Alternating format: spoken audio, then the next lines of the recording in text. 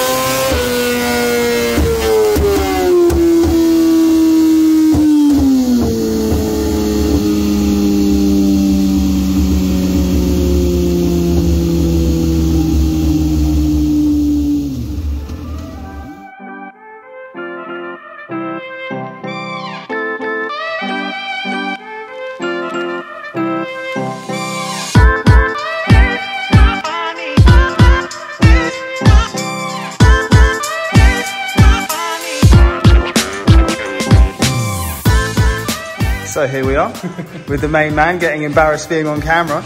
And we've just had the R6 track bearings painted, absolutely stunning blue color. I'm so happy with how it's come out.